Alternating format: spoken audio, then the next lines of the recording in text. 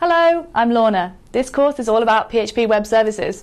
PHP because it's the language of the web, and Web Services because we work in an increasingly interconnected world. We're always sharing data between systems, and PHP is an ideal way of doing that.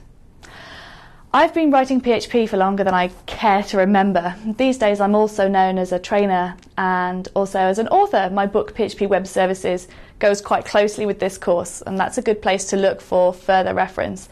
The course is all about practical examples. It's aimed at PHP developers, whether you're writing an, an API backend for a mobile front end or you're building a very scalable website built of modular separate pieces connected over HTTP.